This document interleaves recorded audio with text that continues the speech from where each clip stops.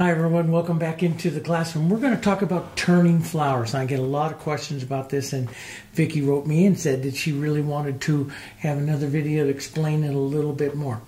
And it is a very difficult subject when you're going to turn flowers. But let's take a look at it and then we'll go right into a painting with it, okay? All right.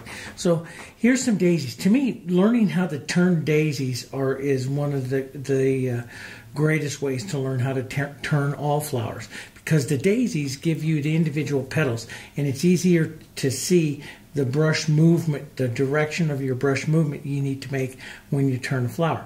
First off, when you go to turn a flower, a regular flower is like if you're just going to look at a daisy is just a circle. And then of course into the this this will be the center here. And then all petals will radiate into that center. Now, as you turn, as you turn a flower, the circle becomes an oval. Okay, so what I'm going to do here is do more of an oval here. Okay, now if I drop the center, let's say I have the, the stem coming here. If I drop the center down a little bit lower here, this gives me short petals up onto this side here.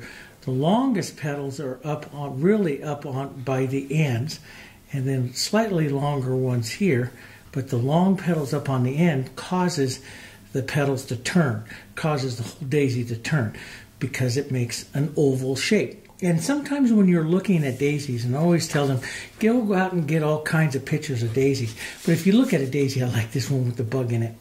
If you look at this little daisy here and it's turning, and you would first say, okay, that's a circle. No, it's not. It's an oval. And so what I did is, like here, just to check it, I made a little pencil mark. If I make a little mark here, which is the end of that daisy right there, and then the, the far petals right out here make that little mark here. Now, if we take, so that's the width of that daisy that way. And if we turn it, you can see right here really clearly that that daisy is not as long out to here. So it's not a circle. It is an oval shape here that's going this way dropping the center down. And you can make shorter little petals to one side, long little petals. That causes the daisy, the flower to turn and rock in all kinds of different directions. So here, this uh, particular oval shape that's here, dropping the center down, shorter petals here. The longest petals, the longest petals are always out here onto the sides. That's where the oval really is. So those are long petals. As you can see, they're longer than the ones here into the back. So that's the length of that petal that's right there. And so quite a bit longer. This one that's right here is even a little bit longer. It goes right to there to right to there. And you can see that that's longer than those petals there. So the longest, when you make this oval, whenever you make an oval, and you're going to come out here, and you're going to drop the center down here for this daisy, the longest petals now are out to the side. You can shorten down the front ones you can leave a little bit longer ones into the back here, but then the longest ones are on to the side, and that causes the daisy or flower to turn. How and where you position the center is really important because you can still do that oval. You can give the whole daisy a different look by tucking that center down lower and making it look like it's coming up and out of this real deep little center here as well so you can make that look quite a bit different. But the main thing is when they're directly on, they're a circle. When they start to turn, they become more of an oval shape. And um, what was really great many, many years ago when I started learning how to see this, back in the early, uh, in the early 1990s, um, Helen Van Wyk showed in one of her episodes, wonderful teacher, just a wonderful teacher. Showed him one of her episodes taking a paper plate, cutting a little wedge out of it and putting it together, and then rotating and rocking this paper plate at these different angles here because then you can see, you know, just like if I took this white lid that's right here, if this was this, you can see as a daisy or a flower turns, it becomes more of an oval shape here. And when she cut a little uh, thing out of it, turned it into a little bit more of a cone. And but you can see how this rotates. See how if you're doing something flat, and then here comes the oval, and then the more flat to the showing of just a little bit of an oval turns it even more. So if I want this flower to turn even more, I narrow it down quite a bit here, and I put in my center, and then this flower here turns a lot more than what that flower does, turns quite a bit more. And when you're doing a good composition, the artist's job is to make an, an, interesting composition so you can turn and rock and roll flowers all different kinds of ways. This is one I did several years ago. I painted this one in March of 2016, so this was five years ago. Uh, and it was just a just a bunch of daisies that I put together, and I put a palette knife background onto it, and was just you know just getting into this movement and turning. But you can see as I I really in this one don't have a daisy that is just pure flat. Even the ones that are right up here are slightly turned. But when you get into a real a casual composition like this, you don't even need to do the full daisy. You can let some of it just kind of disappear. And that's what I did when I when I did this. And I thought this was such a this was kind of a fun, pretty uh, um, composition that I ended up keeping it. It's it's it actually sits in the living room of the the, the art gallery here out, uh, that we have out in Sydney has a full house onto it also. And uh, so it sits up in the, in the living room, and so I see that every day. So I knew I can go up and grab that. But uh, rocking and rolling and turning those flowers. It's just a matter of doing circles directly on and then ovals here. And then what becomes really important, where most artists make the mistake, is they'll start it out as an, as an oval. But then as you start to paint, all these petals tend to grow longer until you almost have a circle again that flattens the whole daisy out. And how do I know that? Because I did that for a long time. I did that for many years. Um, and so uh, it is, it, it's just a habit. You've got to learn how to keep within that structure of the oval. So when you're looking at it, a great way just go out there and start finding all kinds of photos. Look at this one here. Really a neat application. Let some of the petals here, you know, descend down on, on this one side. Collapse it down. Bring the center down. The oval of this of this daisy is sitting right here like that. Do you see that? Okay, then the center comes down here. And so the longest petals are really out to here, but collapsing them down here really turns that daisy quite a bit. And I love this one, turning down, going down like this and collapsing down to one side. But you can see they're ovals, okay? But that oval can be real narrow or can be more opened up. And the more you open it up, heading towards the shape of a circle, then the uh, more round that daisy becomes, okay? So let's take a look at it here with just a little bit of paint, and then we'll go in and we'll paint a composition with them, okay? So my palette that I have out here, this is my standard. My, my daughter calls this my YouTube palette. Um, this is my Hansa Yellow, yellow uh, Light Yellow, Yellow Oxide, Naphthol Red Light, Burnt Sienna, Pine Green, Phthalo Blue, uh, quinacridone violet, red violet, white.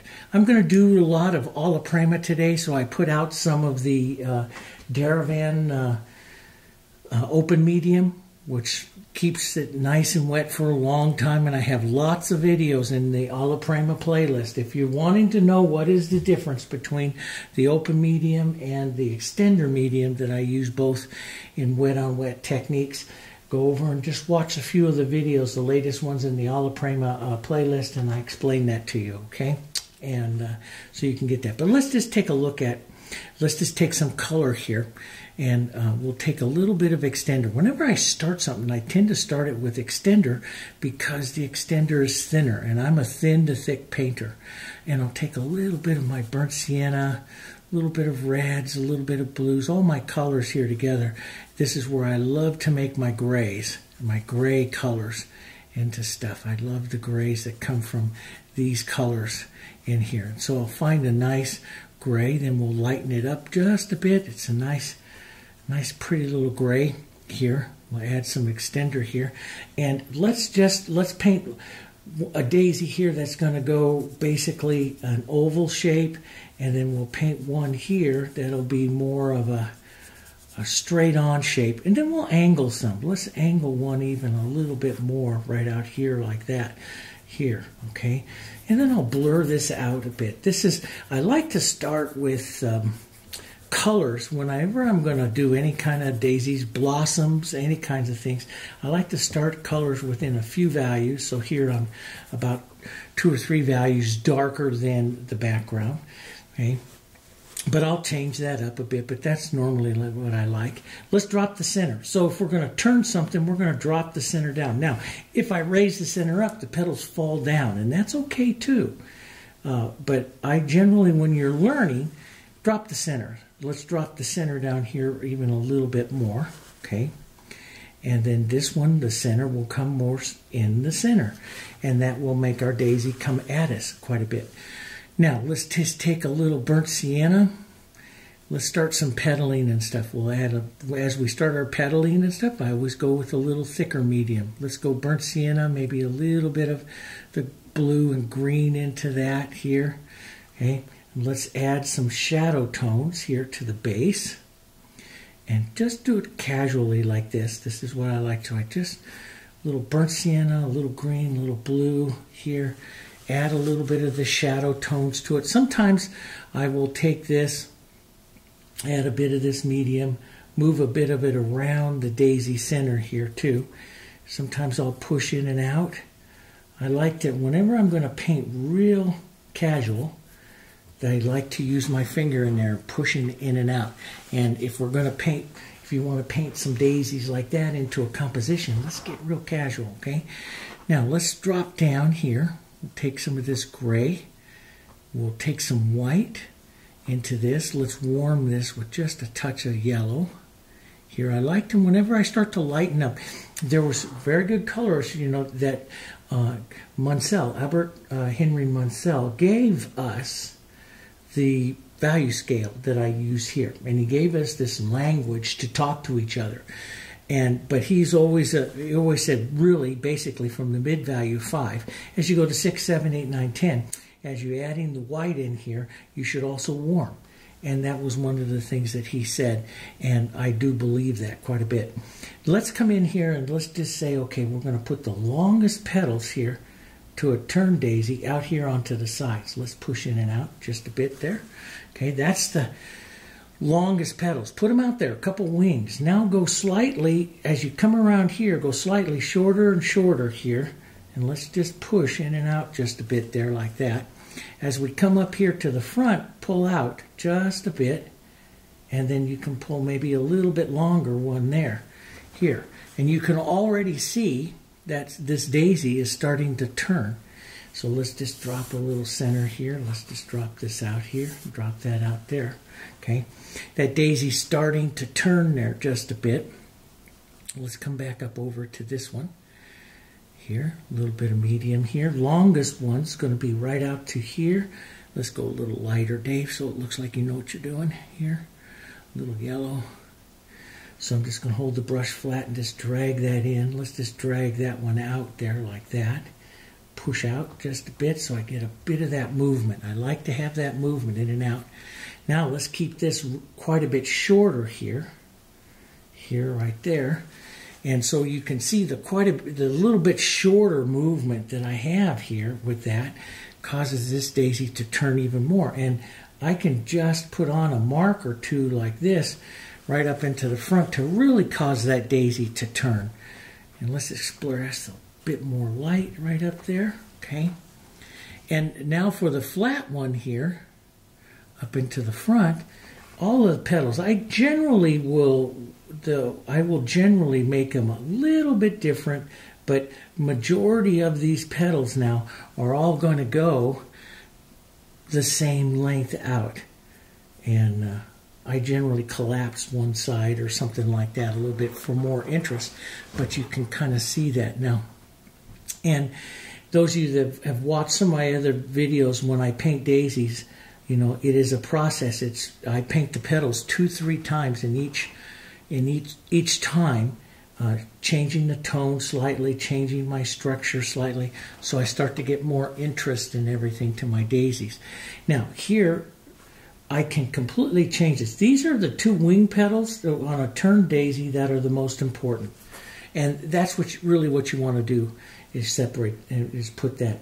And then I can really change the look of this daisy just by how much stroking and streaking I leave to these back petals or Sometimes I will shift from that to a pull down this way to make a daisy, a petal here like this that you see and it sinks the center in. So you pull it back down that way.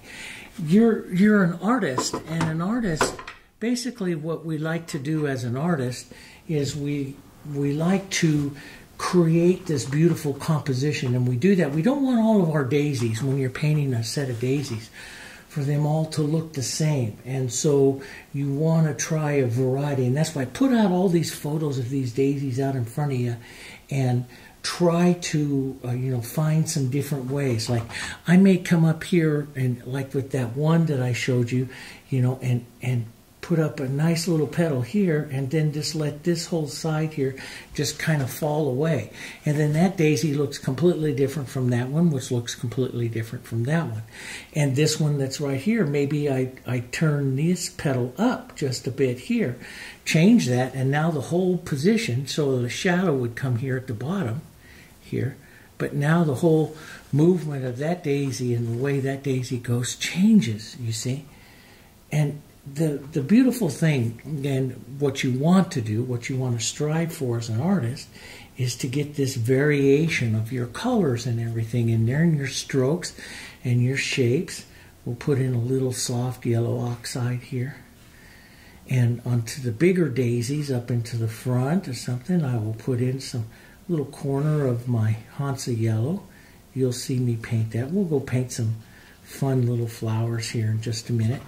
And so I'll put that on. Higher contrast flowers, I'll add more shadows and stuff like that to it. So, and it's the shadows that become really important because the petals are light. So as I increase the shadows, like I'm increasing the burnt sienna here, I'm increasing the contrast of that flower. So if you really want your petals and stuff to show up, always remember this. It is the contrast against that main object or the main interest object of that daisy is the petals. And so you don't get the contrast, you don't make pretty high contrast daisies by pounding in white and putting on white and putting on white. You put on dark so that it contrasts the light. So you need more dark. Sometimes I'll put a little you know, a little what I call a crater up into the center. I call them crater daisies. Put a little, uh, you know, a center up into that, and you know, you can tap on some heavier lights. But what really gives them their interest is the dark. So see, that center is not easy, and even though this is the same lightness as here, that daisy recedes a little bit more because it doesn't contain the dark that these uh, these other ones are, you know, are having here, and so yeah, we'll put out a few little uh, marks of uh, fun little leaves and stuff here and uh, coming out and stuff. And you can make just fun little practices. Fun just to take little boards like this and practice practice your strokes practice your turning of the flowers here. Say okay i want to bring some more interest in here. Well you know what's one of the techniques i show you guys all the time with the roses? The petal edging technique. Put a nice edge right there onto the front of that daisy and boom, up comes the front of that daisy. Let's put one right in here. Boom. There, I bring out more of this side of that of that daisy. I can take some of the dark right over here. I can compress down and press and soften down this side. We'll put in just a little bit of movement here up onto that side there. And so I soften out that side, increase the pressure onto this side, and it comes out even more. But what if I wanted to pull your eye away from that into this one? You know, think I, I love to test you guys like this. So start thinking like, okay, how would I do that? I can increase dark. I can increase contrast. I can increase negative painting with any kind of my darker colors in here like this. And as I start to increase more dark, like one of my favorites you see me do and all the roses and stuff like that, is to increase my darks right around with negative painting, right around my center of interest here. And as I increase the darks, I pull your eye away from that one right down into that one. And we can have a few other little lines of the darks and stuff like that. But you can see how I slowly increase the contrast. It's all good rules of color. Okay, it's like I, I was read. I, I love to read all of your comments, and I do, you know, all the time. There um, are some of them that are not so nice that I, you know, but I love to read your comments. And I read one this morning and I was answering comments and reading it. She, she said, You're just so frustrated I can't get it. Now, frustration comes from a bunch of different things, but frustration will come mostly from your habits, your own individual habits. And as you're learning to paint something and paint something new and visualize it in a new way, you've got to break those habits. And there's there's going to be frustration. If there's not frustration, guys, you're not learning anything.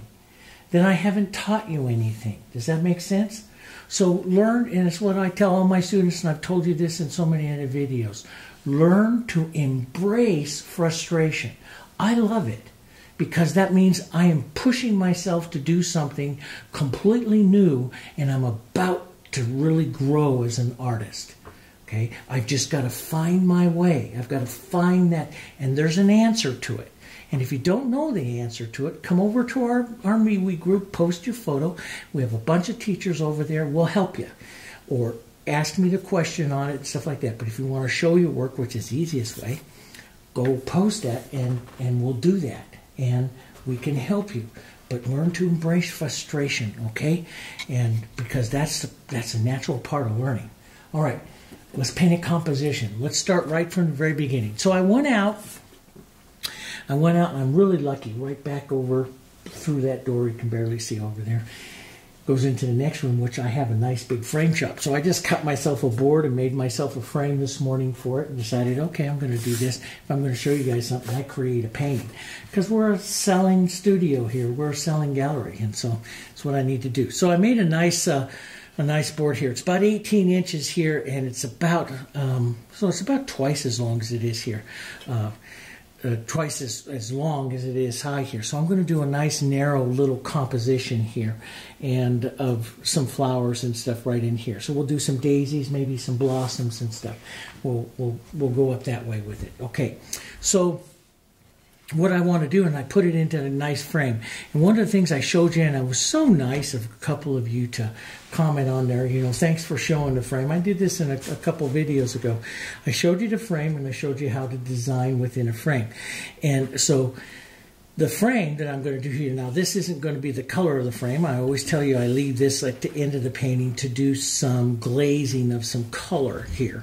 But uh, so I'm going to come right into here. But the frame itself, the the the the frame itself does control basically the width of what our daisies and stuff are going to be in here are daisies and blossoms and stuff. So I'm just going to take a little dirty color here. I love the sketch with some burnt sienna. And I know this is the width of my frame, so I know my first uh, first kind of daisy or blossom flower, it has to be a little bit bigger than that. And so I'm going to make that one right about that size. And I'm going to put out here uh, some of my uh, some of my other flowers here. So, so I can just say, okay, yeah, I can rock and roll. See, I love this one. And so that one might make a, a, a really nice flower down here. Now, what I do is I tend to make a formal area. So I don't want to make it right exactly into the center. I usually like a, maybe to make it grow up here just a bit. So let's drop one right here and then I'm gonna I'm gonna position this one. See, and that's what you can do. Take some of these daisies like this and say, oh, okay, I kind of like the position of that dropping down right about there like that. That's kind of a nice. So that'll grow up, you know, that way there. Um, maybe we have, we're going to have some yellow blossoms and Maybe we'll put a little blossom up there and one up here. I know you can't quite see that. It's fantastic though.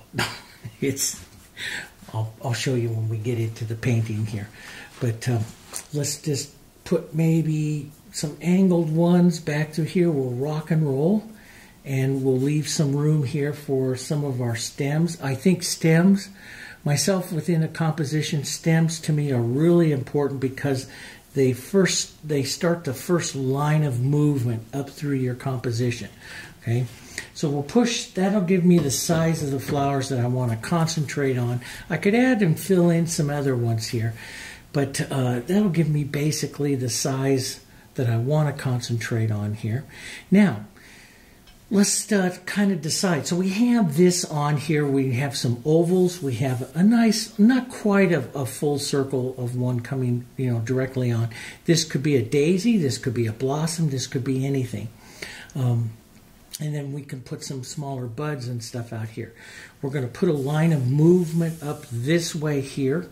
And so usually what I do, you know, is, is I sit down and I start to say, okay, what are we going to do? Are we going to do this more contemporary? We're going to do it, you know, something like this where we're moving some of that color into the background. And if we're going to add some of these background strokes, you can look through all my videos there. One of the things, and I, I do some very contemporary stuff, where the power of the stroke in the background is really quite quite heavy and quite a bit.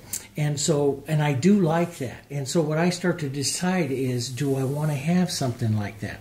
You know, do I want to have some of that color? Now, I really like blues and violets, cooler colors into the backgrounds.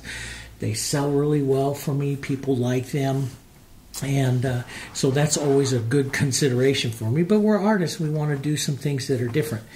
And then before the the next thing I do before I go start determining just how much power I want to be is some of the colors of my flowers. I'm going to do some white ones with maybe some yellow, yellow to maybe some violets into that. Maybe we'll put some violets into the the daisies here, like an African daisy. I used to have those all over my my uh, house out in California, and the African daisies, and uh, that are white and purple and stuff. Beautiful, beautiful flower. Um, and so I start to think. These are the things that I'm starting to thinking about. So you know, I'm thinking you know, if I come in here, that's a daisy. Maybe, maybe I make this one, you know, like yellows and whites and violets, you know, moving through.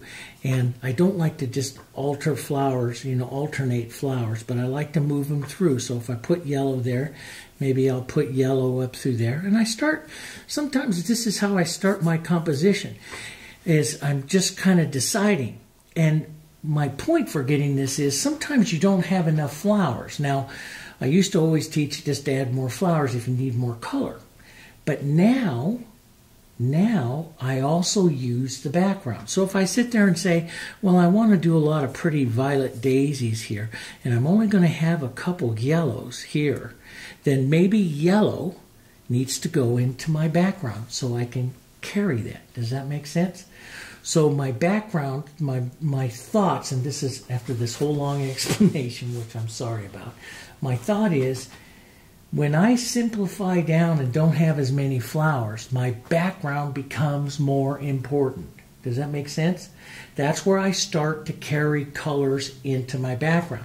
For like into this one here, I wanted to have a lot of color interest. My background carries a lot, a lot of light, uh, a nice color, but it carries violets quite heavy right where they're going to play against some of these yellows.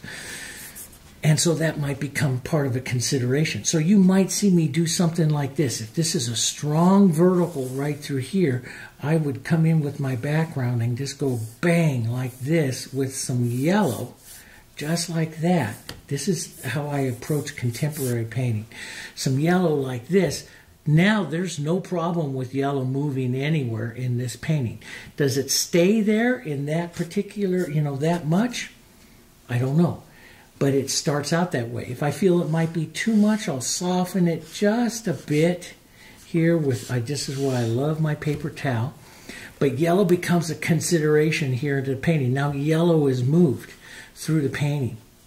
And now maybe we'll take just a soft violet, some, some red violet, which I like, a little bit of blue here, and uh, takes it over towards these nice violets here which is a real pretty color. Here, I'll add some white to it. If I want it to tone down, soften down, I'll add any kind of gray or yellow. See how this, you can see how it's bright here and see how it's graying down as I add some of these other colors from my palette here, becoming softer here.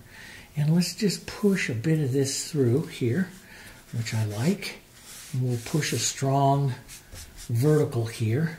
And so you, maybe as this becomes more of an accent, all depends, you know, if I'm doing a, you know, a commission piece or something like that, some of my customers really want to see a lot of violets. They like violets. Maybe I'll put a little bit of this more powerful violet right into here. There's a thought, and look at what it does. Boom, here comes in some of this color right in through here. And I can use that. Maybe I'll slide this over to a little more softer blue. There's a thousand ways to do this. And how do you know? I always get, well, how do you know how to do that? How do you know? How do you know as an artist to go there and do that? Well, I'm playing with the complements. I'm playing. I'm adding colors that are going to be in my composition into my painting, and the next thing is I'm just giving it a try.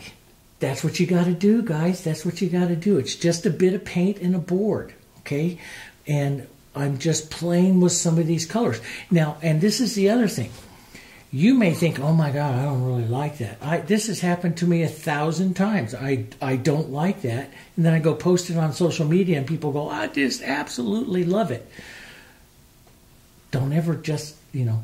This inside artist is very very important. You listen to it a lot, but if it's in the colors that you're not really used to, and violet's not really my thing, then uh, you know you might uh, you might learn to. Uh, just give it a go and, and see what other people say about it. So there's a nice, pretty little blue.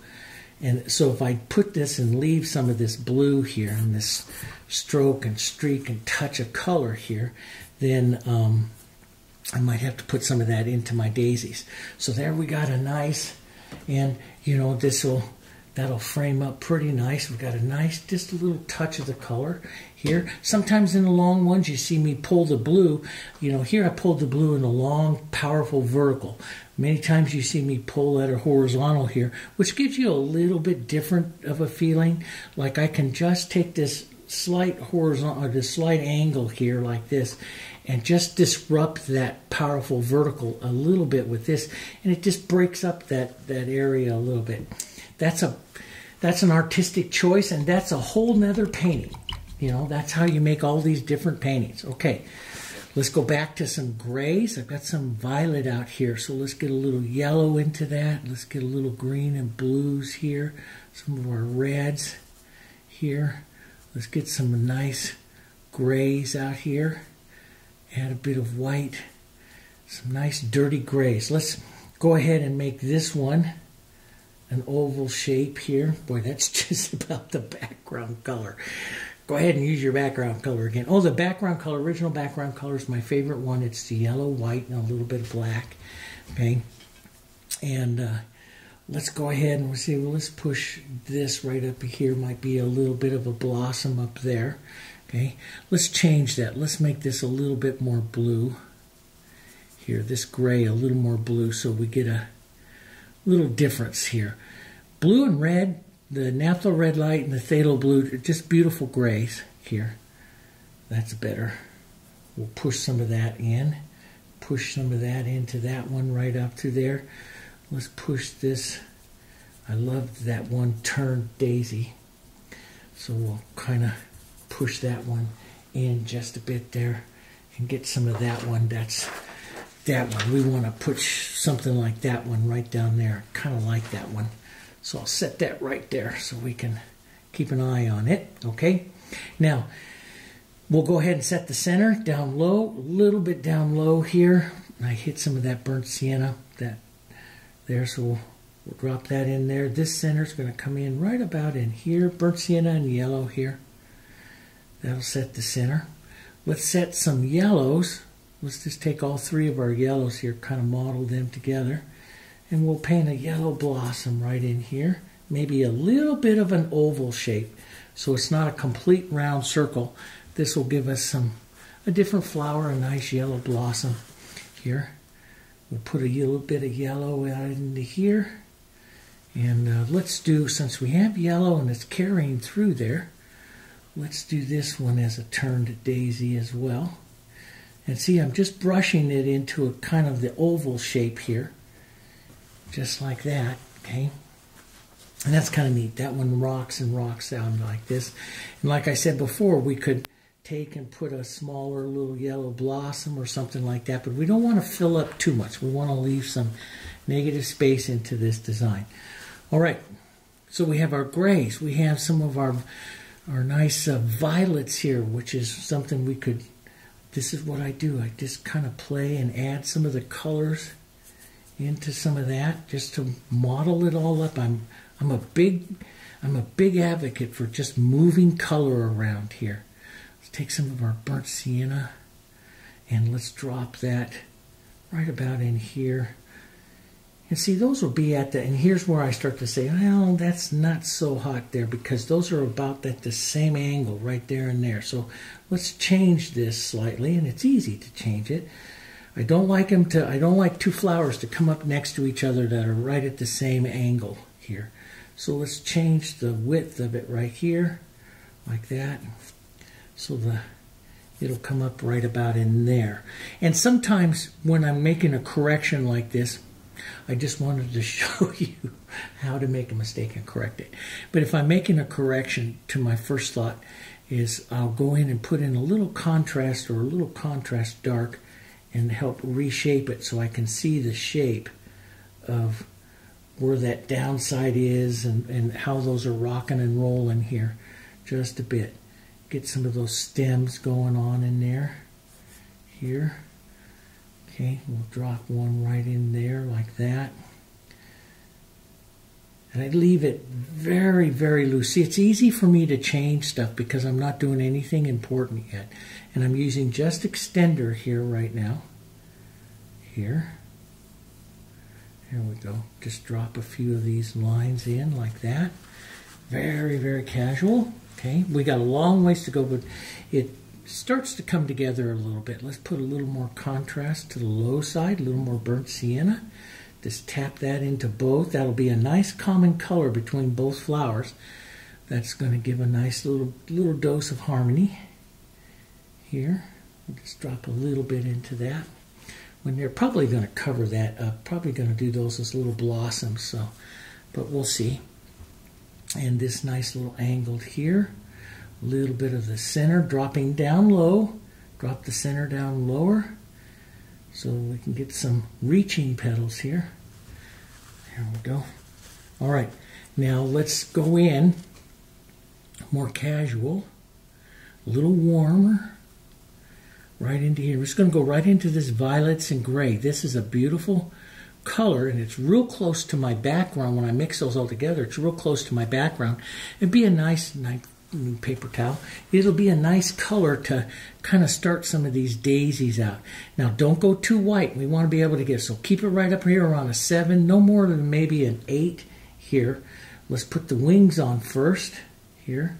That's the long, that kind of turns it a bit, right? We know that, that, that flower just kind of turns there like that. Just a bit, break. You can push in and out some of that movement. This is the first go at the daisy. So we want to paint casual. So now we want to do not reach too far. You see your oval right here. So don't reach too far here.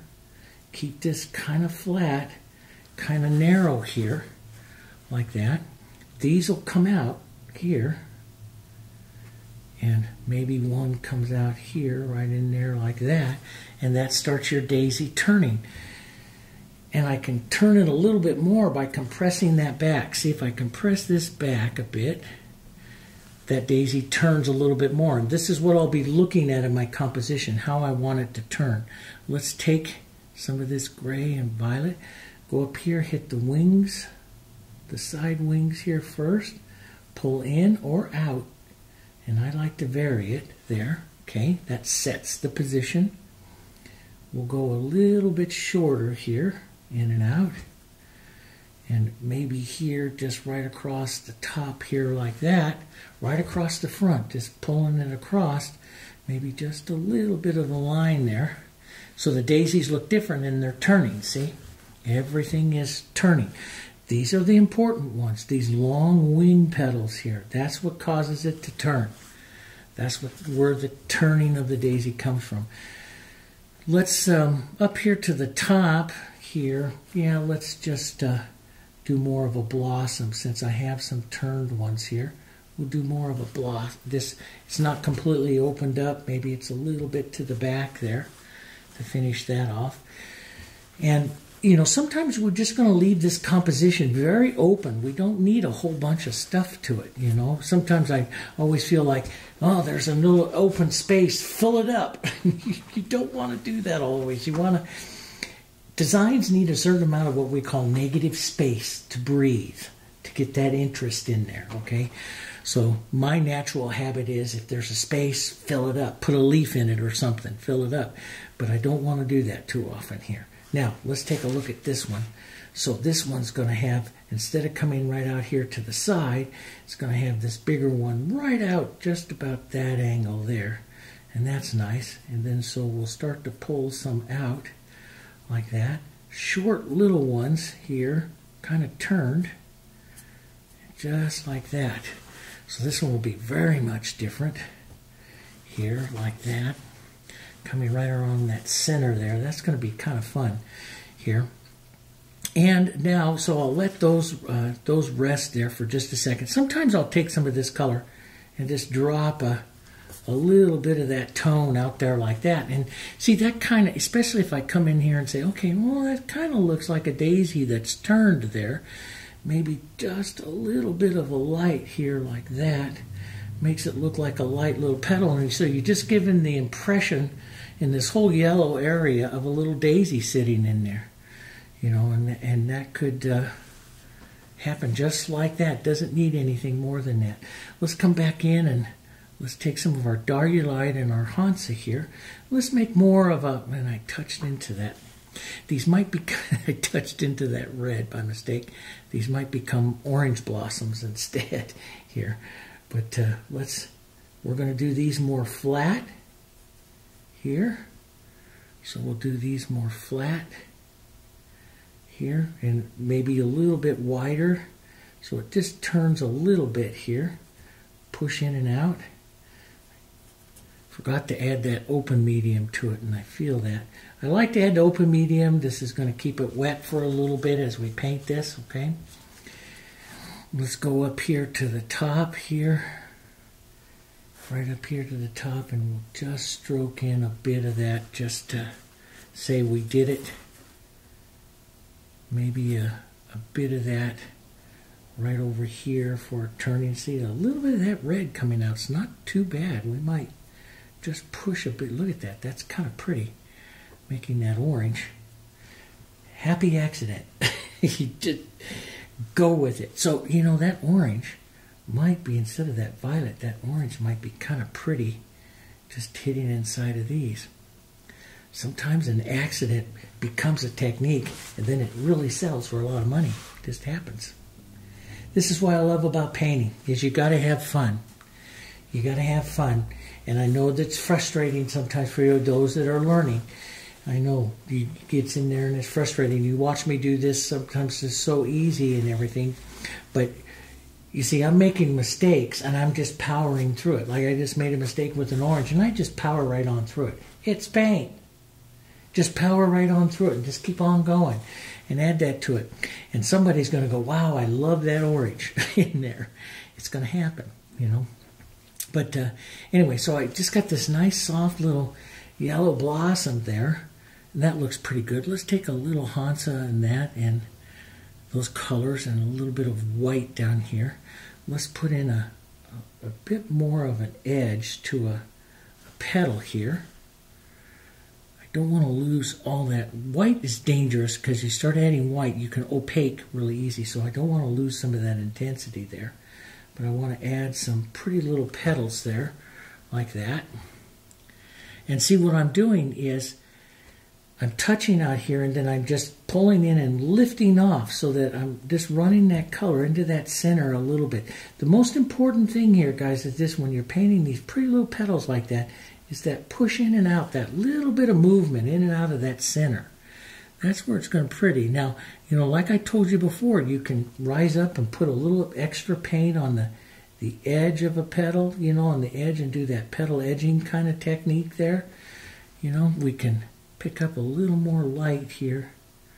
Pull this out a bit more here, right, like this. And I'll sit back and I'll look at that movement. I'll probably adjust it here a little bit. It's not absolutely perfect like I want it, but you know, it's a, it's a good start. Let's go back and add just a touch or a movement or so of that. Right up here, maybe a bit more of the lighter color here. Right up there like that. And you, just need impressions. Maybe uh, just an impression of an edge. Sometimes when I come back out through here, I'll just make the impression of an edge, like there's an edge of a flower or something there, you know, and uh, that's all it needs. It doesn't need to be a perfect flower, it just needs a little bit. Let's put an edge right back here. We'll turn this like this. Make sure that these wings get a little bit longer. That's what turns the flower and maybe even to just some yellow oxide back here at the back and let that just kind of die down, kind of disappear back there. And we'll see. And we'll, and we'll, we'll see what happens. Let's take a bit more of that red orange. Let's just add that right into the center of that flower. I'm kind of liking that color into this composition. A bit of that.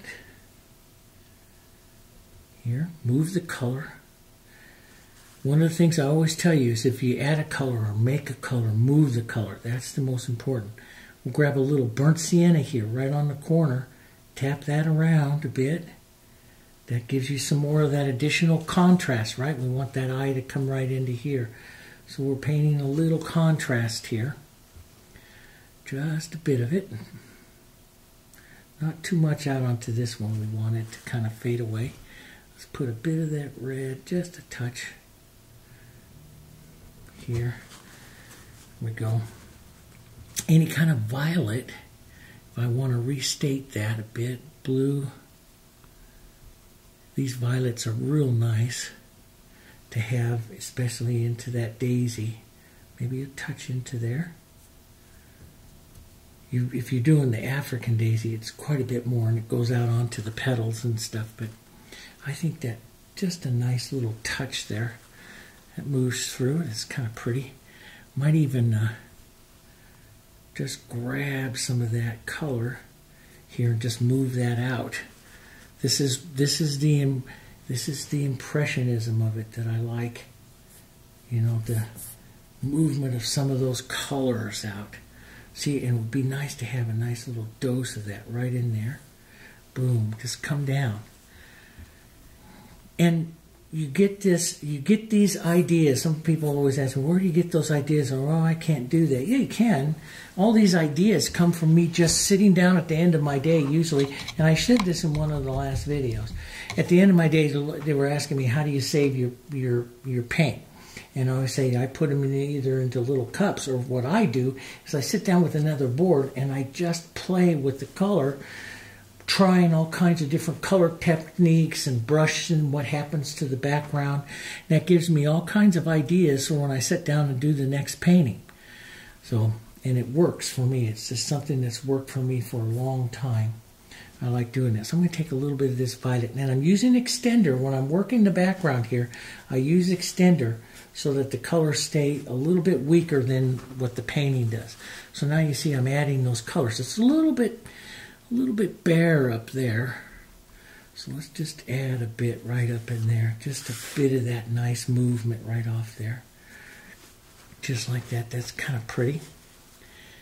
Maybe just a touch of that color, that nice violet. Look what happens when we push some of that right into our center of interest, especially right around this yellow flower. Just starts to add more boom right inside there. Makes it really look like you know what you're doing. Okay? And it's it's just movement of color. That's all I'm thinking right now is moving my color, creating these colors, moving it, trying different things. Okay. All right, let's go back to our daisies. Let's revisit our daisies. They're still nice and wet. I'm going to add a little more open medium, go up in value a little bit, start heading up the chain here, adding a little yellow so that keeps that nice warmth to it. Okay, and let's get a nice boom petal right out here. Just pull out a bit. You know, that could be a little bit lighter. You could either revisit it again or get real brave with some texture and just hit it there. That's kind of pretty there. Let's touch right out here. Just boom. Let's just pull out those nice longer, slightly longer wing strokes there like that. Smaller strokes now. Smaller out here so they're not quite as far. Push in and out. Sometimes I'll push it out and let it just kind of disappear right there. Okay. Want to I want to travel your eye up and through, so I'm going to lighten that with a bit more white right there. And that's my thought, is I just want to travel your eye. I want your eye, boom, pointing you right up there to that one. So I'll go a little more white, a little bit lighter here. And you notice I don't always use, on the second time I come back to hit something, I don't always use exactly the same stroke. That's what makes the daisies a little bit more lively here so that they they don't have exactly the same stroke. And I'm pushing in and out and just creating, see that's a nice little faded edge over there. This, I'm not too wild about that much of the shadow there. I could come back in if you want to see that definition, and there's just a thousand ways, but let's pick up a bit on that edge and let's just draw that edge just a bit there. And see that drawing of that edge brings your eye so that your eye is coming back up this way a bit. That look that worked kind of nice.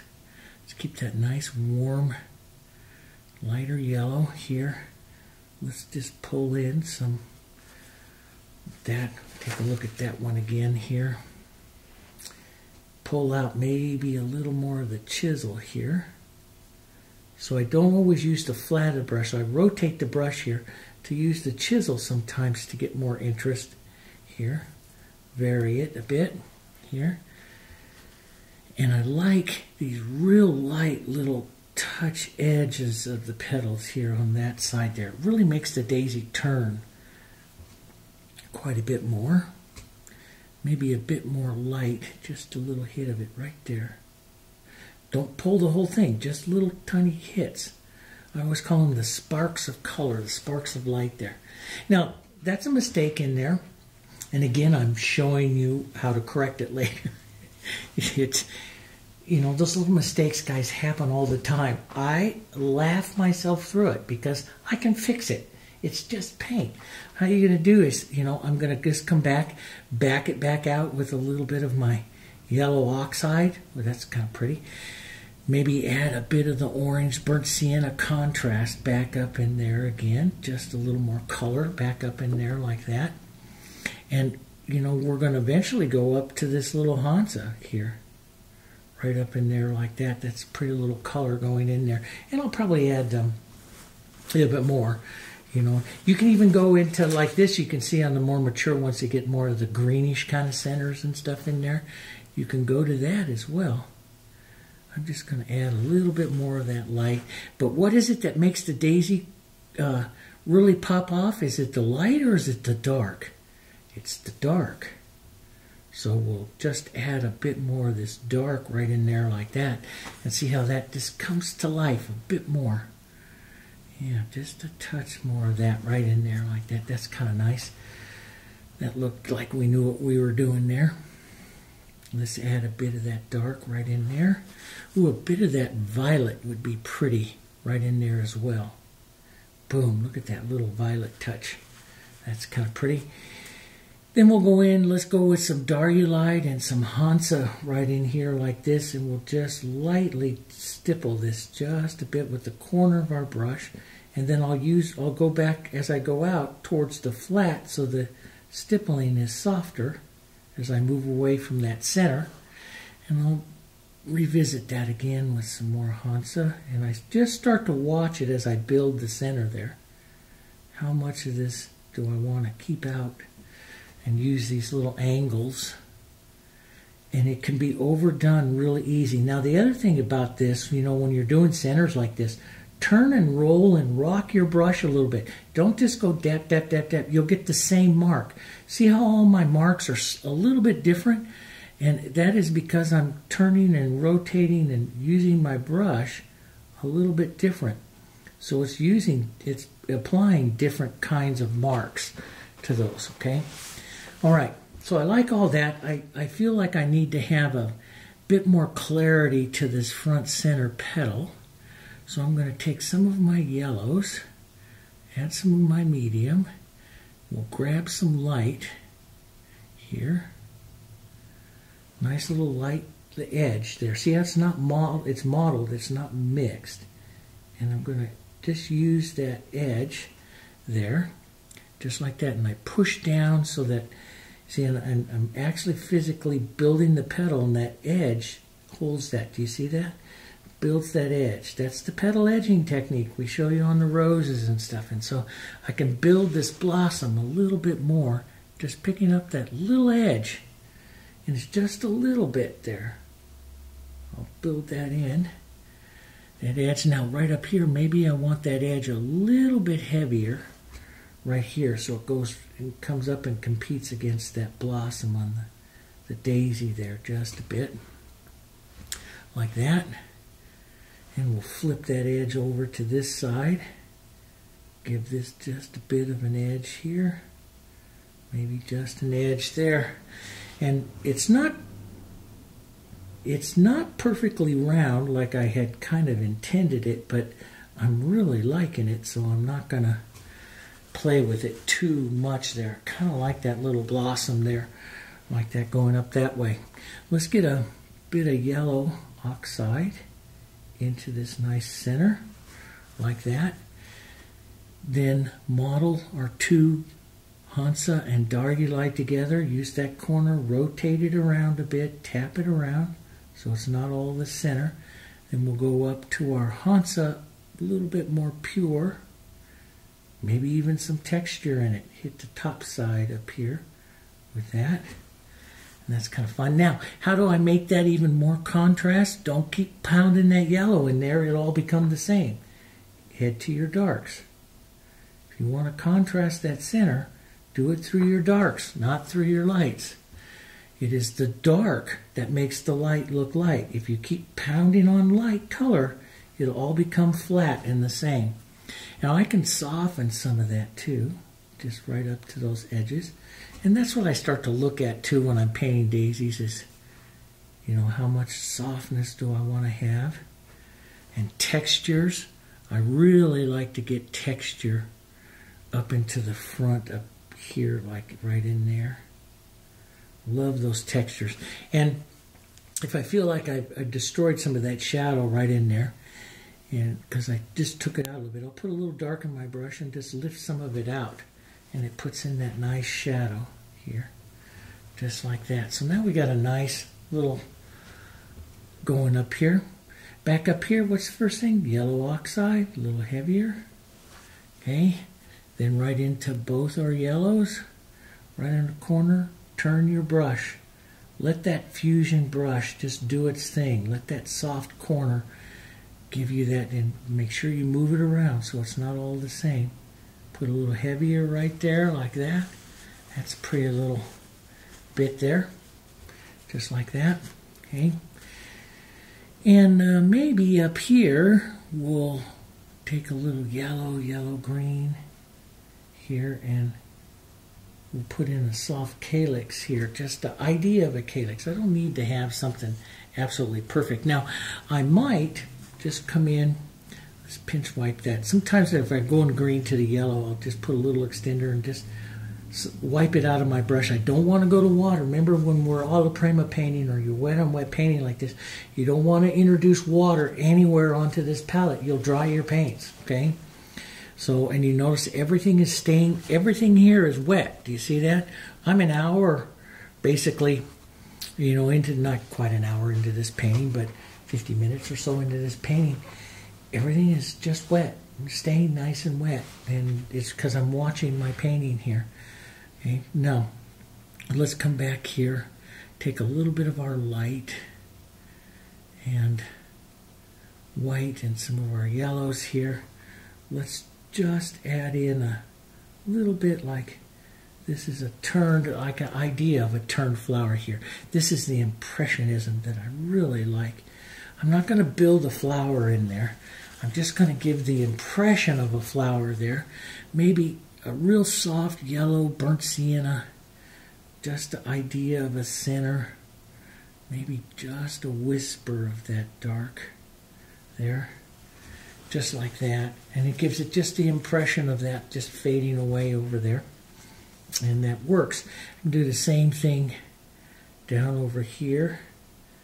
And just a whisper of that burnt sienna in there is enough. Maybe I'll, go through and soften this one just a bit more. Sometimes I'll pull out because it gives me a different look to the flower. Here, here we go. Just like that. So we got a nice soft one there. Just going to fade right into the background. There. Now I can build up more if I decide, mm, do I want to, do I want this flower to compete against that daisy here? And I might because my eye jumps just a little bit from this daisy to that daisy there. So I'll take my yellows, add some open medium here. Let's get some white, a little bit lighter yet. And we'll increase the light right up here just a bit right up into these center petals. Just a touch more, a little bit more interest right up here. Right here, so the maybe just a bit more here. I did it that side, so let's just build a little bit. I don't want to lose that petal edge, but just a little more light right through, and kind of like through here, I'll just touch this outside right through the center there and it just lightens the, the blossom a little bit more. Now that blossom has some additional power up against these other daisies here. And that works. We'll tone this one down a little bit with our grays, just a bit. Here, a little light and gray. Here, just push some of that around everyone's going to see if you give it something like looks kind of like a green stem and everything there people are going to see it as a uh, they're going to see it as a calyx you don't need to get in there and paint anything perfect be impressionism with it that's you know it, it doesn't need to get in and paint realism okay now let's go let's get into some of our greens here nice yellow greens so some Hansa this. Let's get some open medium into this. Let's try a little bit more powerful yellow-green here. I'm going to take a little bit of that extra color off of my brush here. And let's just see what some of this, and I'm just going to move it around a bit here. And I'm going to be very impressionist. I'm not going to make perfect leaves. Now I could, like I could pick an area right here like this, let's, if I'm going to go here and I want it to reduce down, I don't want to use that. I want to go back down and thin it back down with some of my, and I might even want a little burnt sienna in that. So let's come right down here.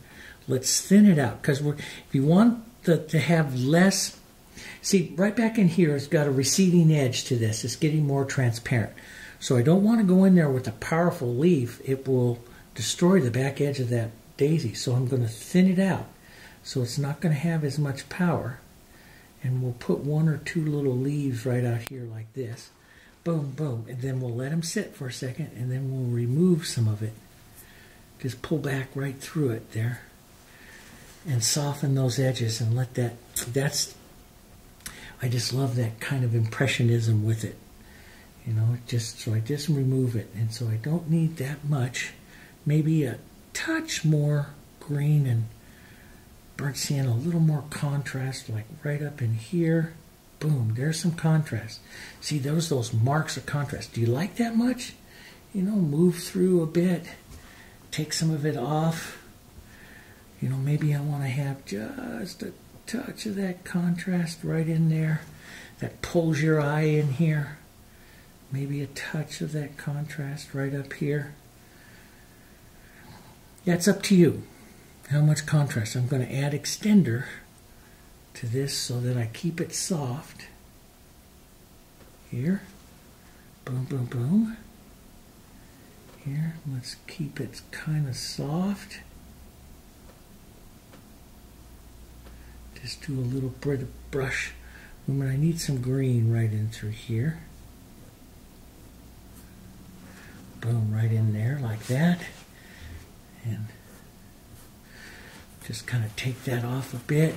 Maybe a, a touch of the dark. Sometimes I'll just touch that dark as a little shadow right up against that edge there. So it's, you know, it, you could put a shadow against there, but then I'm starting to really, you know, I'm not losing the back edge of that daisy. So I'm, that's an artistic, you know, that's your look. You you decide, you know. So, and so I'll just add a little bit more now sometimes back down into this area, I like a little bit of a brighter yellow green to come up down towards some of this.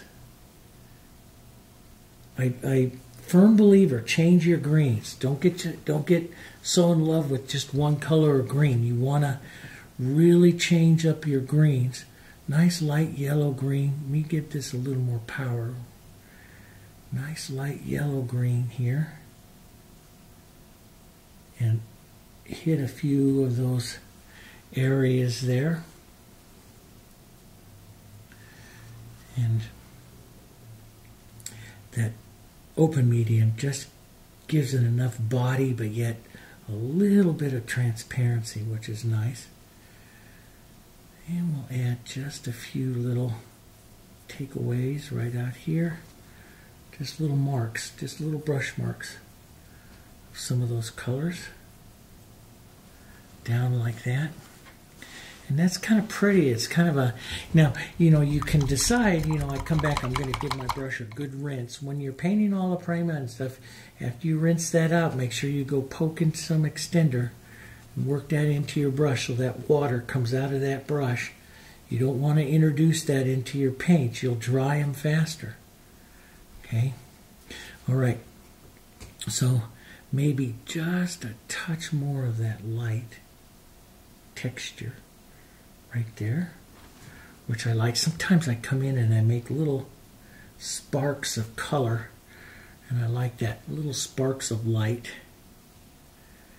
you know, which are kind of fun to have. Here, boom and see some of these blossom petals here a little bit more. And it might be a bit too much, so I'll put a little yellow, just work it back and forth a bit. But I like, like I like to do this. I like those wet edges of that green and yellow to push together there like that. And just kind of, it's, I don't call it blended, I call it blurring. I'm actually blurring the petal edge out into the other colors there, and that's what I like. But it's kind of nice every once in a while to have these little spark ed sparks color and edges there that work out real nice. Maybe a bit of the yellow pushing in and out of here that's still nice and wet. So a little bit of that green on my finger. That was intentional. Okay? Not. It's another one of those little accidents. But boy, it really looks good, doesn't it? So now you're dressing your finger in green and going in there. It just sometimes nice dirty little finger just adds some nice stuff. Look at that little green. That's nice. Yeah, that that works. You know, push a little bit right in there. That's become a new technique. you know, that's what you do sometimes. Okay, so I like that. Now the question is, you know, a lot of times I start to look at this back into the uh, the frame, you know, back into here into the frame. And do I need to spark it? Uh, you know, I start to look at it and stuff. Do I need to, you know, spark it and, and push it up? Um, you know, here I've got a nice medium beige on the edge of the frame. And uh, I would probably go through and, and darken that just a, a little bit more. So, you know, and I, I do love varieties and versions of burnt sienna. And sometimes if I, I sit there and I go, well, you know, I'm going to make this a little darker and, you know, softer and darker here. Um, maybe I uh, add a little bit more dark into the uh, center of the composition as well. So I do that as well. A little bit of this dark burnt sienna green. Sometimes I, it's like I showed you on some of the last frames, especially if I'm painting, if I'm painting uh, very impressionistic like this, uh, I like to wipe the frame down with the paper towel and create kind of a, a glazing type of effect on it. And I think that that adds a lot. So I'll just mix some of this up. Green, burnt sienna. That's a kind of a pretty color. I'll work that with some uh, with some of this uh, extender medium here so it stays really wet for quite a long time. And that'll give me time to uh, wipe it down, work it down like this, add some of this, almost like an antiquing, but it's really technically a glazing. And uh, sometimes I would take a, you know, a light color, for example, a light color like a lighter yellow or something like that, and work that back into the frame here through the center part after I do some of that glazing. That creates a, a really a three-tone frame here, which is kind of nice. Gives it a different a different look. You know, we always looking for you know different kinds of looks here, and um, so that's kind of neat too. There and uh, just boom, and I like the frames to you know really. So I'll, I'll push some of that on, and I like the frames to really kind of take on their own kind of uh, character, you know, with them, and so. Uh, yeah, I just push these colors around and you know it's i don't try to make in other words i don't always try to make it match. All the sides match exactly or stuff. I like variations. Like i may come out here yeah i did that and push some more of this and maybe uh, you know sometimes on like some of my bigger frames i'll just touch a little green in every once in a while. And so the viewer picks up this little bit of green which is quite nice. And so the whole frame really takes on a its own movement like you have in the background. In other words, it's not a perfect, precise frame. You know, like you go and, and buy one that's antiqued or something like that, and you know, it has all these perfect little edges and everything, and the colors are, you know, nice and they're all the same going all the way around. I don't, sometimes I, especially into an alla prima painting, I don't like that. I like to have little variations. So little color spots of green and some of the light colors and stuff off of the off of the uh, the daisies and stuff like that. For me, they they add a lot. And usually, what I do is I put this up onto my easel and I sit back and I start building a frame with glazes that I like that really goes with the painting maybe a bit of that light right through there. It doesn't have to be perfect. Just some of that light going through here. Just another tone going through. But I did like a few touches of that green in there that as well. Just showing up through. See, just whisper it on. Just let it, just a bit of that show up and, and through. And it makes a nice, uh, I'll try to hold this in. Everything's nice and wet here. But uh, makes a nice, uh, you know, kind of a frame for it there to get some of the different colors and stuff. But I'd sit back and, and I just start to glaze it like this, just making the frame part of the painting. And, you know, and you, your job here is, you know, is it going to frame it and contain it or, you know, what's your, what's your real goal? So here you see I have more contrast on that one than I did into there. And that's up to you. Do you want to put some more contrast in? Do you want to, you know, do some different things there? You know, that's all up to you. We have lots and lots of videos, lots and lots of ways to do it. You can go in there with your, uh, you know, even a filbert brush, change it over and make some more perfect petals and stuff like that. But I like the casual nature of it. And, um, you know, it's something to, something to think about and stuff. I like this blue here. I might add a few touches of that later and everything, but uh, that's how you go. So, you know, when you're turning blossoms like that, you got to do that oval shape. Get, and the first strokes I usually take are the two longer wing petals there. And whatever it is, you can shorten it down on one side, but one side, right on that on the oval itself, has to have a longer petal that creates the oval.